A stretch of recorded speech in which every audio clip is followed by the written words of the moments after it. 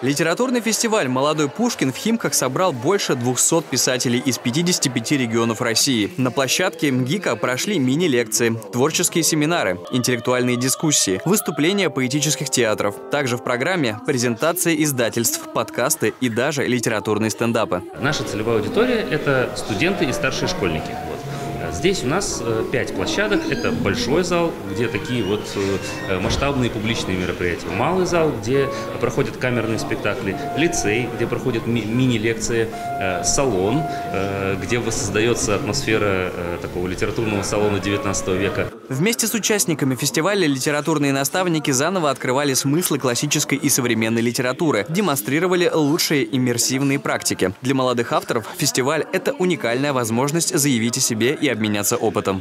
Приехал на фестиваль впервые, пригласили поучаствовать, э, вот, э, привести наш проект, концерт-перформанс литературный по поэзии авторов последних там 30, получается, лет, которые не так хорошо известны публике, но хотелось бы, чтобы были там замечательные поэты.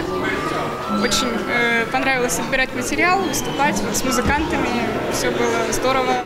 Фестиваль продолжит еще около 40 литературных мероприятий, которые уедут в разные регионы страны искать своих читателей. «Молодой Пушкин» станет частью ежегодного литературного форума Союза писателей России, который проводится на базе кафедры журналистики Московского государственного института культуры и является частью Содружества литературных фестивалей России.